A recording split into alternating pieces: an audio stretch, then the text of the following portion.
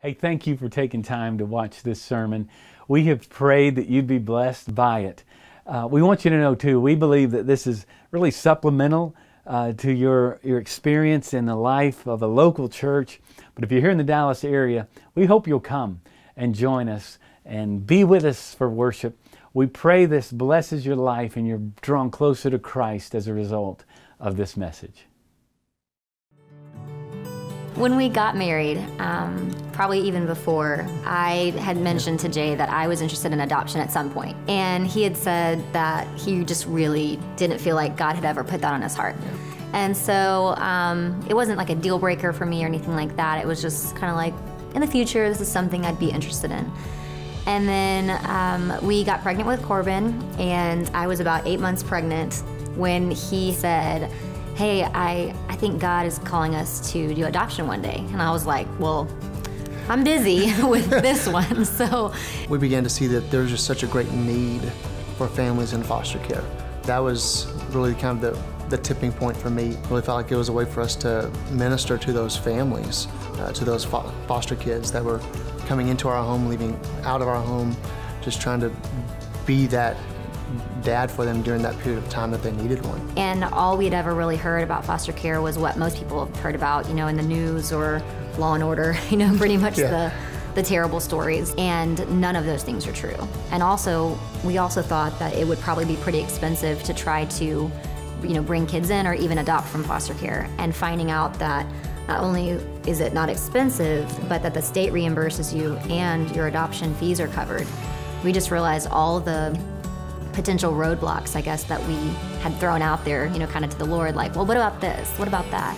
Foster care just kind of took all those away, and it just seemed like it made sense. Yeah, logical step. What we had asked the Lord during foster care, and what we had continually said that our our um, answer would be regarding the kids, the calls that we received was always yes. And then we would just pray that the Lord would shut the door if it wasn't right.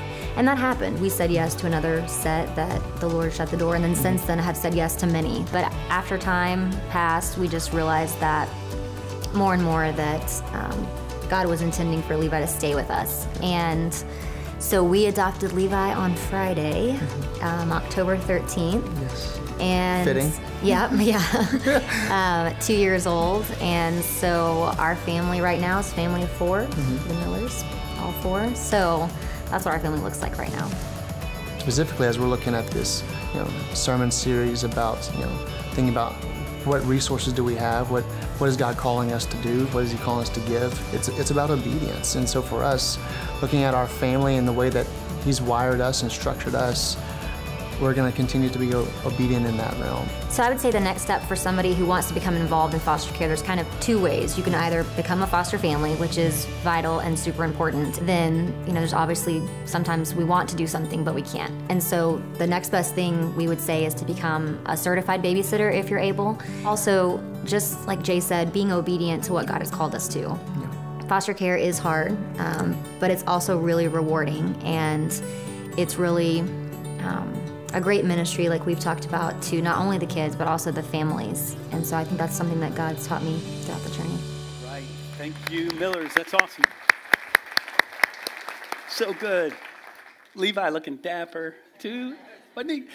And Corbin, if y'all don't know the Millers, they're sitting right over here. Corbin's right over here. I was about to say, Corbin is turned. He's always, he's always hyped. And I love that about Corbin um, and Levi. So good. We have such an incredible staff team, and I'm so thankful for the Millers and all they do for our children. Uh, Marty, you saw earlier. Uh, we got Yancey coming up in here this afternoon for a preschool kind of kids praise time. Bring your kids. Um, come on up here. Nothing better to do this afternoon than that. Um, also, want to say this before I dive into the message. Uh, we have today we introduced to our students. I was able to run up there a little bit. Um, we just met our new high school minister. His name's Drew Herndon and his wife Carolyn, and they're sitting right over here. Would you guys stand? They're sitting right, right there. They are. There they are. Welcome them. Yay! We're so glad y'all are here. Um, they too have, know, have an adopted child as well. And we look forward to getting to know their family. They're going to be moving during the holidays, so be praying for them, right? You think your holiday is crazy. Uh, they're going to be moving from Memphis, right? Memphis. Uh, how many of you have ever lived uh, kind of in the southeast? That's kind of southeast ish. How many of you ever lived in the southeast? There's one thing that kind of permeates, um, saturates, covers the entire southeast. And I'm not talking about uh, gosh, for me, growing up in Charlotte, North Carolina, was kind of ACC basketball. In the Southeast, maybe it's um, what SEC football, I suppose. Um, but uh, there's there's something else that really takes over, and it's called kudzu. Anybody? Uh, kudzu. Uh, it just kind of you know we, we we brought this in from Japan, literally, to help with soil erosion and stuff. You can see it along the highways, but kudzu just kind of takes over. It's a, it's a coiling uh, vine that, that just grows rapidly and it covers everything. If you've ever seen it, um, it's like you can drive along in the southeast and it's like, you know, it's everywhere. And, and it covers trees and whatever it covers, it has the, the capacity or the, the ability to, to kill. I mean, whatever, whatever it clings to, it can kill it. Whatever the host is, it can just, you know, suffocate it. The sun can't get to it, that kind of thing. Uh, as we walk through this series together, you can see called Owned. We're talking about how the stuff that we own can own us. Prosperity and affluence can become like kudzu. Just kind of grows all around us. In fact, you kind of don't even see it sometimes. It's more like, maybe, it's more like an environment. Affluence and prosperity becomes uh, the air you breathe.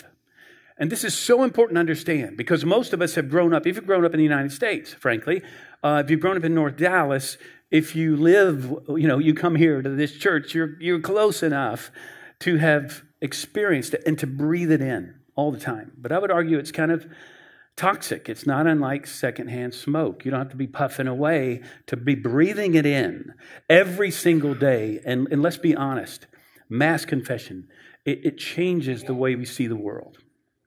And so today I want to talk about this thing of false prosperity, we're calling it today, owned by false prosperity. That is, we start to see and measure things uh, that we think are prosperous or, or are success, are worth so much, when in reality, it's false. Prosperity can lead us to a false sense of security because we put our, our security in those things. Now, let me say this, and, and already uh, this needs to be said. Jesus didn't come after people because they were wealthy. You know, living in affluence and such is not a sin. Um, however, Jesus did point out that having much and living in affluence can cause us to have a false sense of what's true and what's valuable in life.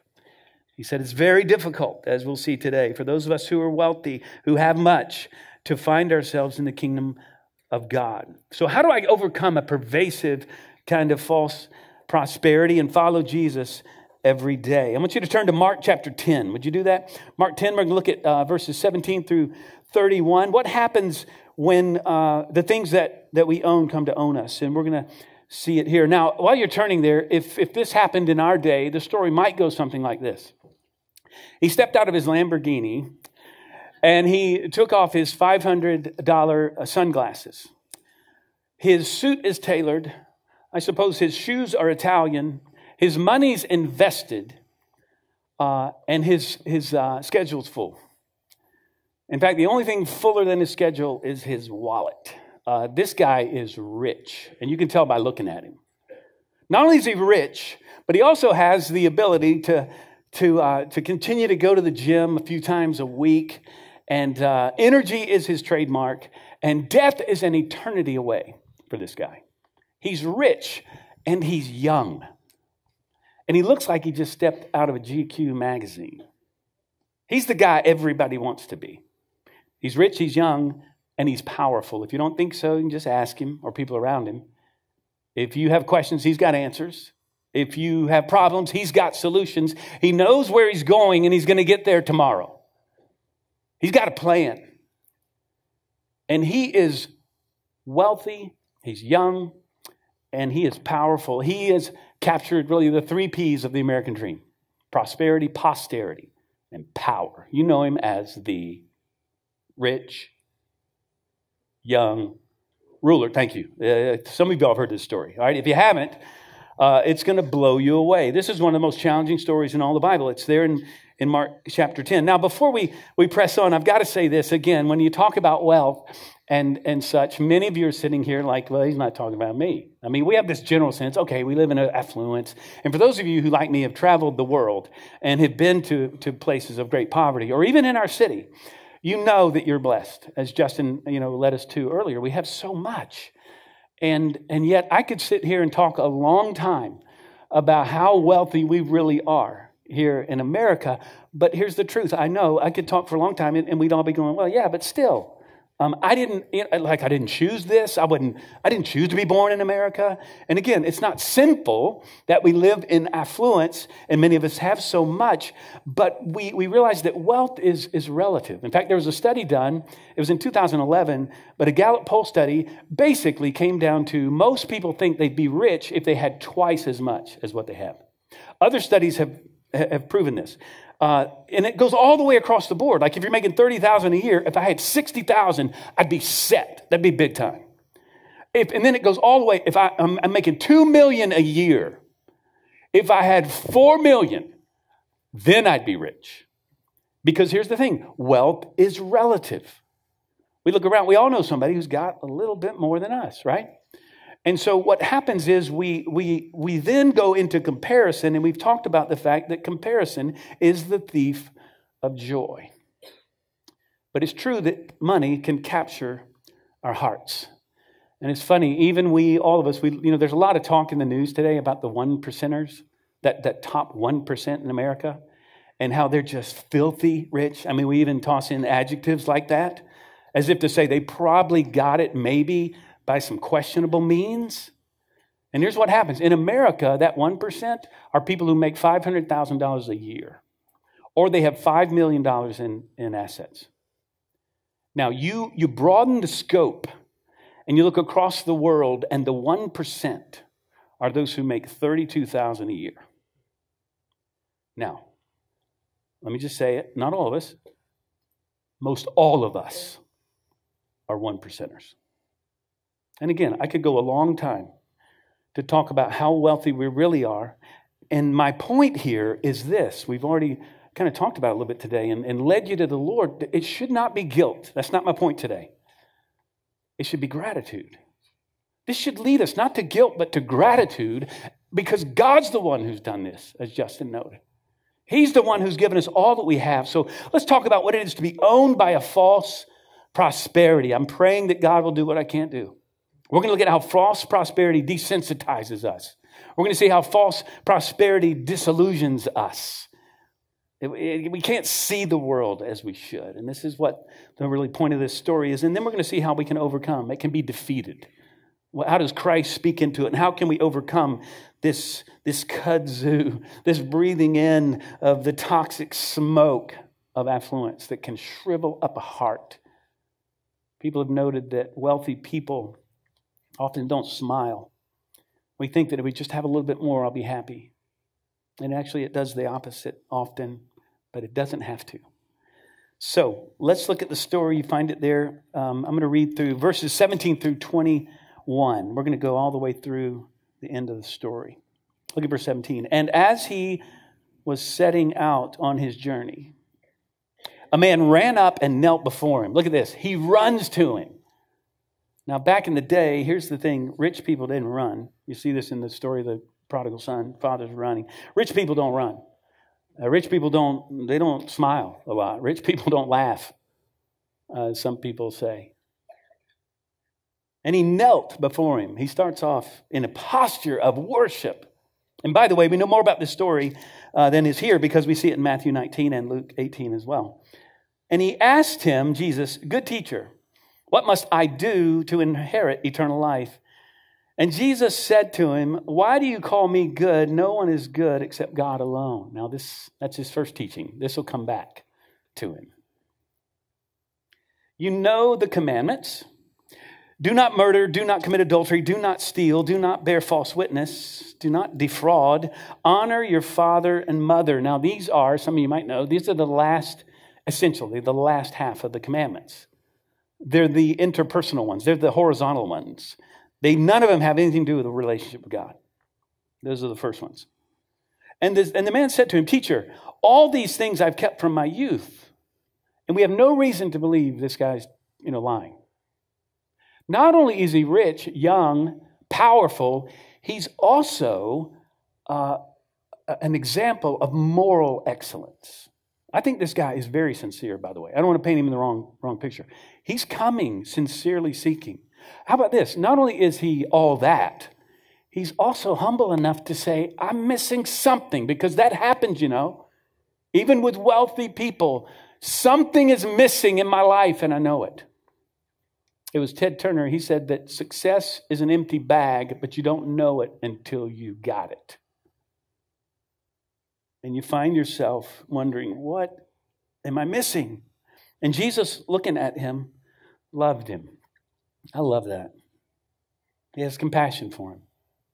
It's if to say, I love you, and this is going to hurt. Like you do with your kids, I love you so much. Come over here. Uh, I love you, but you lack one thing. Go sell all that you have and give to the poor, and you will have treasure in heaven. And come follow me. Look at this. This is lakhai halai. It's the call of a rabbi to a disciple. Be my disciple. Disheartened by the saying, he went away sorrowful, for he had great possessions. That word sorrowful is deeper than that. It's, it's, uh, it's the word grieved. It's the same words that, that, that is used when you bury a loved one in the scripture. And he's not being called to bury a loved one. He's being called to bury his possessions, and he cannot do it. He can't do it. So, the first thing I want us to see here is that false prosperity desensitizes us. And it desensitizes us to a couple of things. It desensitizes us to our needs, to our own needs. Affluence can make us numb to our real selves. And we have this false sense that I'm okay because I have enough around me. This man wants to know what must I do? Can I buy it? Can I earn it? How do I inherit it? And this doesn't make him, listen, it doesn't make him a villain. It doesn't even make him a bad guy. It makes him makes him me. Makes him us. What can I do? But because you see, wealth has desensitized us to our real need. And that's the case for him. It's desensitized him to his real poverty, his sin. This man doesn't need, you know, to figure out how can I pay my way into heaven or do work my way there. Uh, this man needs a savior, like all of us. But think about it. No wonder he would respond this way. If the problems that you have are most often fixed by your stuff and your money, then you'd bring that, baptize it into your spirit, into the spiritual dilemma that you face, and you'd say, How can I fix this? I'm fixing everything else I can in my life. This is why you go to places where people are poor and don't have much, and they're much more aware of their brokenness. They're much more open to the Spirit of God moving in their lives. They tend to be much more faithful uh, and, and, and have more faith than those of us who are tied to the material. But here's what's going on here, and it's true in our day. There's a popular theology still today that said if you do well or you do good, you're going to do well. God will bless you if you're a good person. If you're a high moral person, we call it the prosperity gospel, by the way, which is not the gospel. And it says if you do good, then you're going to do well. And if someone's done well, they must have done good. They, they must be good. In fact, we do this, don't we? We kid ourselves even, but we think when somebody's wealthy, that dude is rich. He must be. He must have made some great decisions. He must be really smart. Maybe not. He may be really stupid. He may have just gotten a lucky break. He may have made a couple of decisions. He caught a wave. He's wealthy. And then we come to believe that ourselves. I'm, I'm successful. Check me out. And then we start to measure other people and we're judgmental. How many of us have done like me? You see a guy on the road, side of the road, and it happens right here near Northwest Highway and around here. Uh, somebody's begging for, for food. They're out homeless. And the thought that often, confessional, goes through my mind, man, that dude made some bad choices. Be where he is. But if I were to put myself in his shoes, born in the same family, raised in the same circumstance, I may be worse off than him. And so we, got, we, we, we, we need to see that there's a false sense of, you know, I'm okay because of the stuff I have. That was his problem. This guy lacked not morality, not stuff. He needed to come to understand that, that the solution, here's what happens the solution to everything is money if you have earning power. And we live our, our lives that way. It's kind of, you know, you've heard it said if you have a hammer, everything looks like a nail. That's all you got. If all you have is a hammer, everything looks like a nail. If all you have is, is spending power, everything has a price tag. And you think, I can buy that. I can fix that. And we bring it over into our lives. It desensitizes us to our real needs if we're not careful, if we're not in the Word, if we're not seeing our lives as God sees us. This man needs a Savior, he needs a rescuer, just like you and me. Not only that, it desensitizes us to the needs of others. This is why Jesus says, Here's what I want you to do I want you to take what you think makes you strong and invulnerable, and I want you to give it to those who are vulnerable and weak. Then you'll be invulnerable. Then you'll have treasure in heaven. Then you'll be truly strong. You see the economy of God? It's flipped. And, and the man's going, I cannot, are you kidding me? It's almost as if Jesus is saying, listen, you want to talk about the commandments? Let's go to the first one. Love God and have no other gods before you, before Him. Let's just go to the first one. Because money had become his God.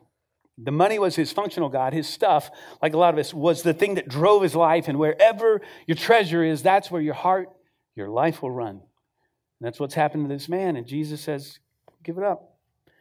He's an addict, is what he is. And Jesus says, I want you to go cold turkey. I've had a lot of conversations with people this week to ask the question Do you think Jesus was really telling him to give up all that he had? Because think about it give all that you have away, and then you'll go to heaven. No, that didn't work either. Keep all the commandments, and then you'll go to heaven. No.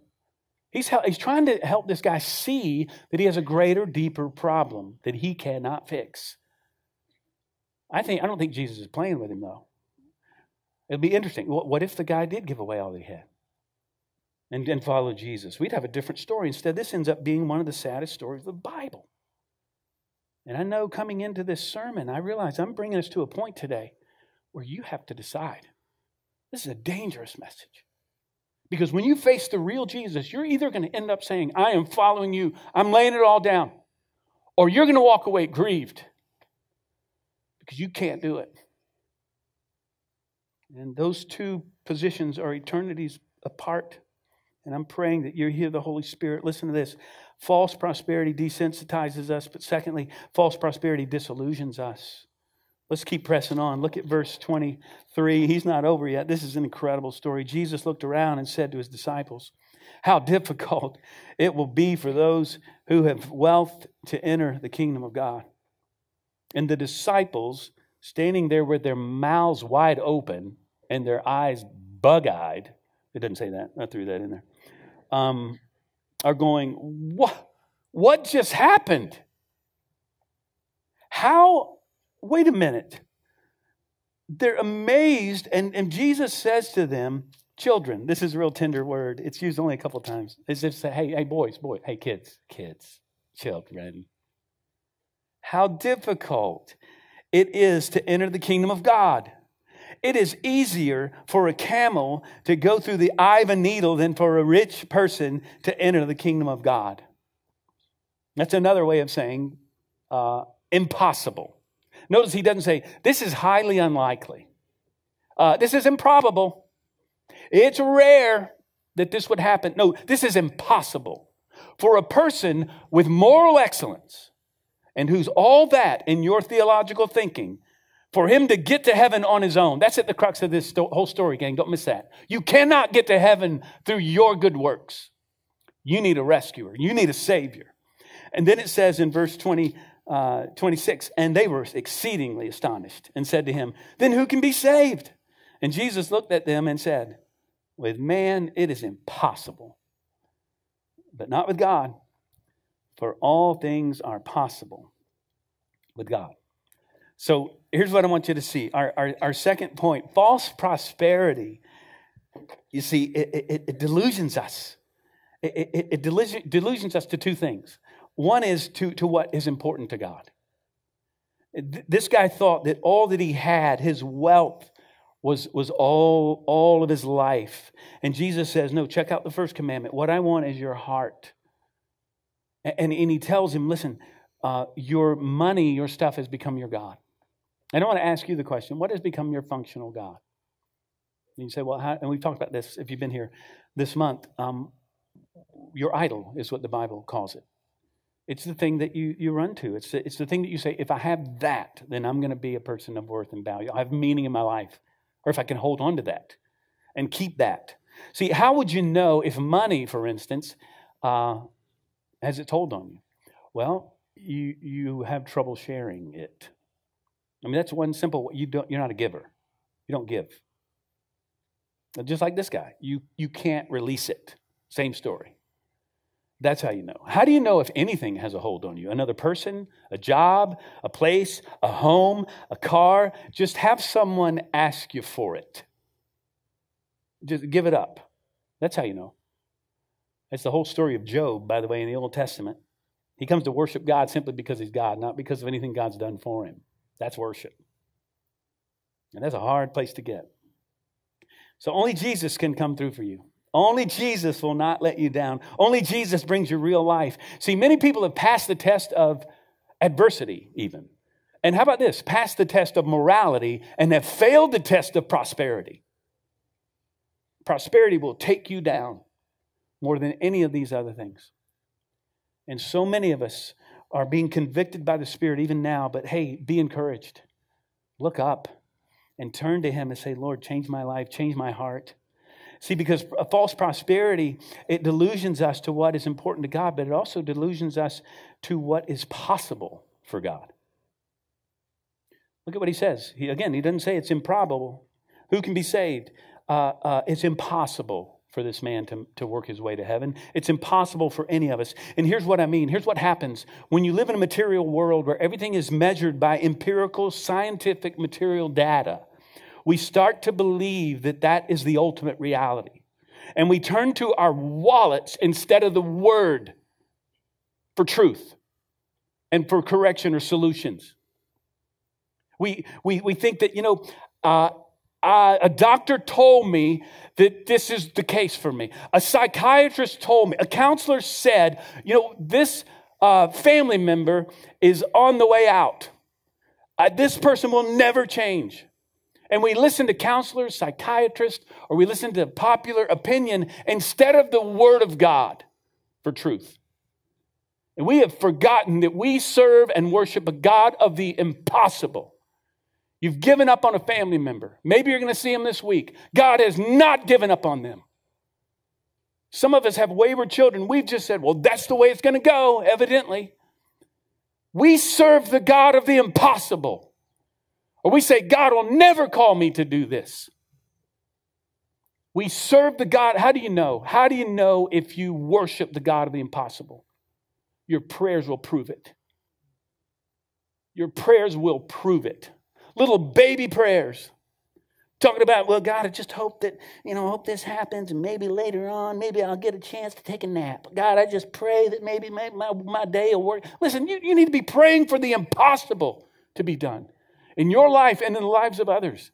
Because we serve the God who does the impossible. Turn to, don't turn to popular opinion.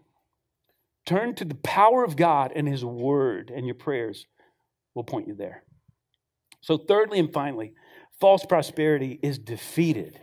Watch how it is defeated. Look at verse 28. Peter began to say to him, See, we've left everything and followed you. Now in Matthew, it's a little more explicit. He's like, um, this is so funny, actually. The disciples crack me up sometimes, but we get it. Uh, we're on the other side looking at, and but he's like, um, we left everything to follow you. Uh, what's in it for us? He literally says that in Matthew. And what's interesting, Jesus doesn't go, get over here, Peter. I'm gonna get you. You're so goofy. He doesn't rebuke him. This time he doesn't say, Get thee behind me, Satan, you know. Um, but he doesn't affirm him either. He doesn't say, Peter, you, you are the man. I mean, you, are you kidding me? You're incredible.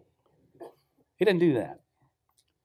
Instead, he says, Hey, Peter, and everybody, he says, anyone who does this, anyone who gives up, all of, all of this. And look what he says. He says, Truly I say to you, there is no one who has left house or brothers or sisters or mother or father, or children or lands for my sake and for the gospel, who will not receive a hundredfold now in this time, houses and brothers and sisters. So you're going to receive other, maybe even more brothers and sisters and mothers and children and lands with persecutions. Whoa, wait, wait. That's not the first part. But so that's a blessing as well. And in the age to come, eternal life. But many who are first will be last. You see, Peter is saying, Hey, what about what about me? I've given up a little little, little something. And, and Jesus says, Hey, Peter, listen, whatever you've given up, uh, you're going to get a hundredfold, man. You don't even know. You don't even know. It's why Jesus is the great treasure. He is the one thing this guy doesn't have. What one thing must I do? You need to receive the treasure that is above all other treasures. So when you have it, when you have Him, everything else finds its place. Nothing is worth more than Him. And it's not even close. It's why we can say to Him, I'll lay everything down because the pearl of great price is what I received. You can't put a price tag on that. And that's what Jesus is telling this man. That's what he's saying to us. You can't put a price tag on salvation that comes from God Almighty through Christ who dies on the cross, lives the perfect life for you. This guy wasn't perfect. Nobody's perfect. Christ lives the perfect life on his behalf, on our behalf. He dies on the cross, a death that we should take on ourselves, takes on our shame, our punishment, because we can't measure up. He is now the great exchange. He gives us his life. So, how is this defeated? Listen, first by receiving Christ. If you've not received his grace, friend, you are on the pathway to hell, eternity apart from God. And you're living in it now. So, you do it by leaving, he says. We've left everything. Well, the only way to overcome, turn your back on the effects of this life of breathing in the toxins of prosperity is to say, it's a constant decision to say, I'm, I'm, not, I'm not going there. That's not going to be my God. And you might be asking, I hope you are, what do I leave? How, how do I leave? Like, do I move? Like, I live in an affluent area or culture or city or you want me to move? Is that what I do to get? God will tell you. I'm not telling you to leave or to move, but maybe. Well, how, what do I leave behind? How do I listen to God? Be willing. He'll tell you. And it's going to come right to you, to your God. By leaving, by receiving. This is how it's defeated. By receiving what Christ has done for you. Anyone who would give up is going to receive a hundredfold, hundredfold compared to what you gave up. So you give up and you receive. This again is why the Millers become this great example. You know, you can say, wow, they're giving up a lot, man. I mean, Levi, he's cute, but still, that kind of disrupts your family. That's wow. That can, that's crazy stuff. You, you talk to them for a moment about the hundredfold blessing that God has brought into your life because of that little dude. Hundredfold. And it's about what matters the most. We, we overcome it by leaving, by receiving, by practicing. This is a daily commitment. He says, deny yourself. See, to thrive in a culture that is churning out the smoke of prosperity, this kudzu that just takes over us, we've got to practice it daily. You've got to commit to deciding, I'm going to be last and not first today. It starts in the home. I'm going to be last, not first. See, we got to go. We got to we got to give, and I would say that you could be generous. If you're not a giver, gang, you, it's, it's strangling you. It's going to kill you. And one of the ways to overcome is to say, you know what? We got to release. I'm going to do it. I'm going to do it. I'm going to release. I'm going to be a giver. And here's the irony here wealth is not a destination that you pursue, wealth is an identity that you possess. True wealth is something that's given to you by Christ, not something you achieve. True wealth is his righteousness, the exchange of our sin for his righteousness. That's wealth. That's the pursuit of our lives. It's why we must leave. We must receive what he's given us, and we must practice this on a daily basis. So, what does that look like for you? I'm going to close this way. I, have asked Justin and Holly to come up here, and uh, we talked to Mario uh, last week about what it is to uh, deny yourself and uh, take up your cross and follow Jesus every day. And I want to do the same with, with Holly and Justin. So if you guys come up here, I have known this precious couple here um, to be a couple, of, and you all know this, but sometimes we can fool ourselves. We hear y'all on stage, and man, you sound spiritual and you love Jesus and all that stuff. But I know that you really do. Uh, in real life. So when I first met you, um, it was just outside of Elizabethtown, Elizabethtown mm-hmm. Kentucky. We were in Louisville, I think, and um, had come to see and visit you guys first time we met y'all and we asked you to come here, and uh, and to say, okay, so family recently kind of moved nearby. You're with your family. They're in a great church there, and uh, we want y'all to come here. And none of us thought that you would really, you know, really do it, but we were like, no, we want y'all to come here, and you did, yeah. and you gave up. I mean, family, mm. incredible kind of neighborhood church, the whole deal, and you said, yeah, and and I've come to find out or realize that's the way that you live your life. How did you come to that, and what? Talk to us about yeah. that. Holly and I both from the beginning of our marriage, and I think because we had parents who modeled that for us, who were always willing to do whatever God called them to do, we've always just said we want to live our lives open to whatever God wants to do in our life. We we want to be obedient, no matter the cost. And yeah, so we we lived in Kentucky, and uh, that's where all of our family is. We were in a great church, and Holly's mom was actually the senior pastor's uh, assistant, and her grandparents were in the church. My parents were just an hour down the road, and so when Park Cities contacted us, at, at first it's like, no, God, we don't want to leave this place that we love so much in this comfortable place where mm. we grew up.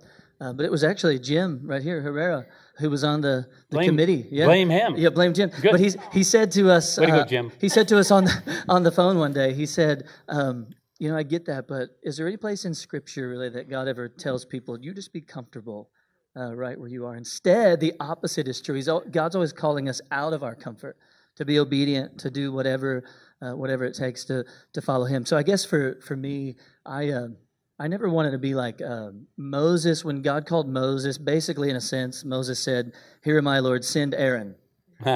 uh, because he, he said, I can't do it. I'm not equipped to do it. You, use my brother instead or whatever. Yep. Um, I don't want to stand before God one day and God say, I want to do something great in your life. And He won't be mad at me because of His grace if I didn't follow Him, but I don't want to miss out on His blessing and just the, the reward of mm-hmm. laying our lives down uh, to follow Jesus because He gave His life for us. We sang it earlier.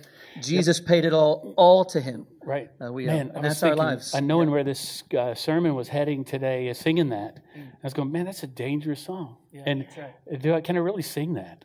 Yeah. I think honestly, I don't know any of us really sing that honestly, right?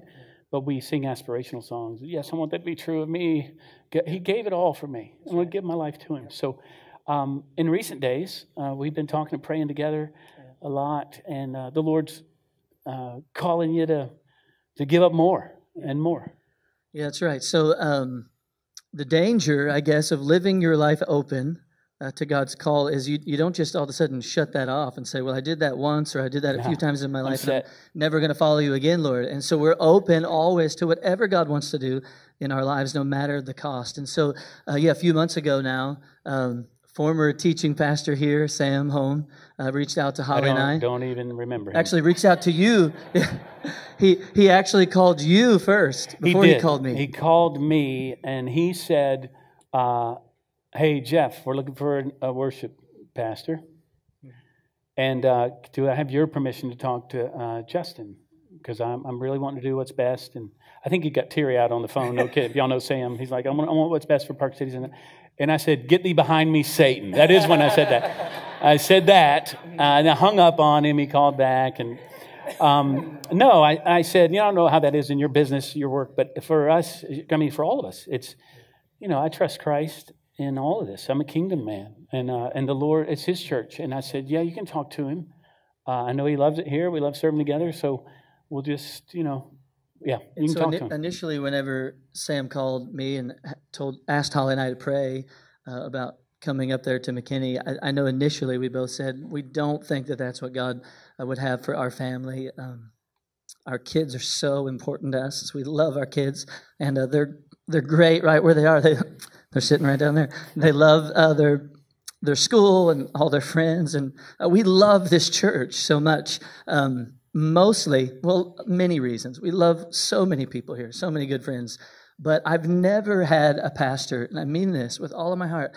I've never had a pastor like Jeff. If if the Bible from beginning to end is all about Jesus, and it is, by the way. Mm. If it's all pointing to Him, there's nobody better that I've ever seen that we've ever served under to remind us constantly, every moment um, that we talk to you, that we're with you, and every time you preach, every time you pour into our lives um, about the gospel and how much.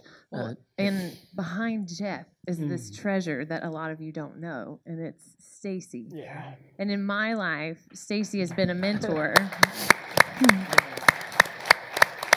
And she's helped me even raising our kids and just figuring out how to be a pastor's wife in my role. And so we're just so grateful for you all. And, and so we began to pray, and we didn't feel like God was leading us, but as we've prayed over these past couple months and really prayed with you, and as you have um, just given us your wisdom and just really sought to be our pastor, yes, but also just my friend, mm-hmm. um, my mentor. Um, we began to realize that God is calling us uh, to McKinney. And so um, it's hard because we love this church. It's hard to move our kids. Um, we have to move to McKinney, even though it's close. We're going to uh, move up the road a little bit. And it's hard to leave such a great church and such a great, godly man. Um, but again, uh, because we know with all of our hearts that God is leading us, uh, we're not going to say no ever.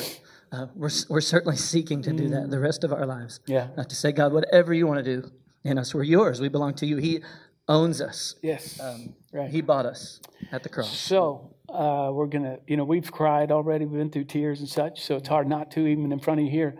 But um, I want to say this before we close this time. We're going to sing a song out. But uh, Holly, you, um, you've been a big part of this whole story. Not only, uh, you know, gosh, just leading so powerfully all every week and, and such, but we know of your love for Justin and support of him and his role as being on staff.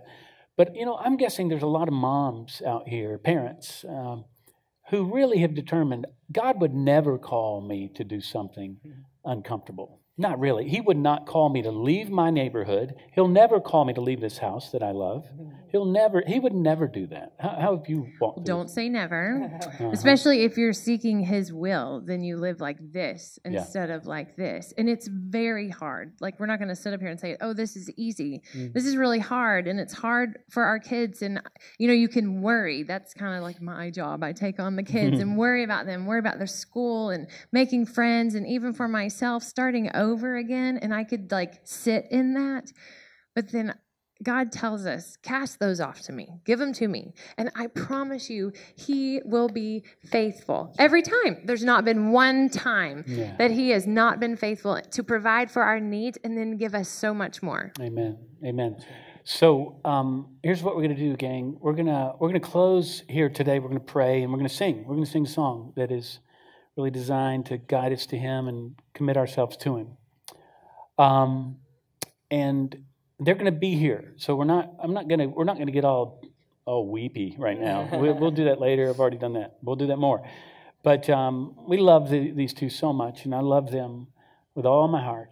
And uh, I'm believing and trusting that the Lord has great plans for us, just as you guys are are leaving in really a few weeks. I'll talk about that. Um, you know, the Herndons are coming. I mean, God calls us out and he, and he leads. And when you're open to Him, we're always raising up people and sending them out. I've said it. The, to live the missional life means you're always saying goodbye because you're always raising up people and sending them, or you're going yourself. Mm-hmm.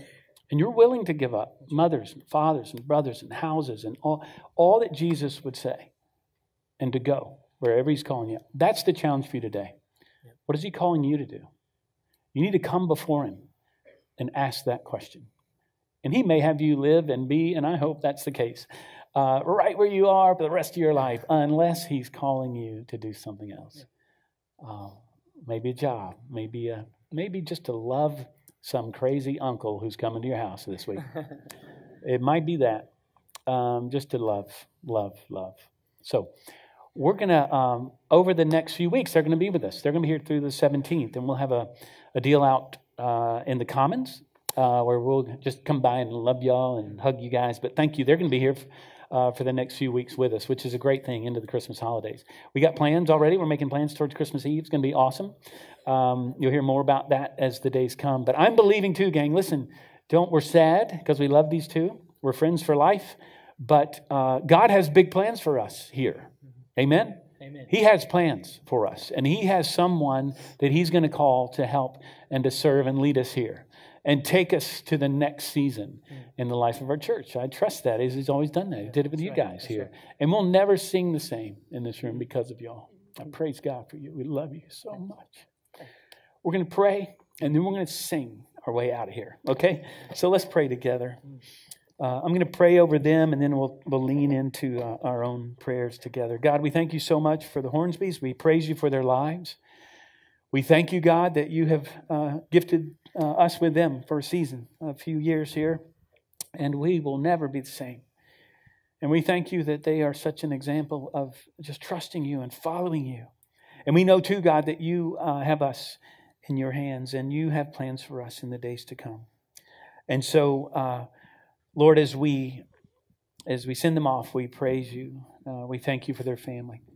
But Lord, as we close our time together, we, we hold our hands out open, our hearts open to you, and we give you our lives, knowing that the treasure of Jesus is worth more than anything. And following you and what you would call us to do is better than anything in the world. And so we give you our lives anew.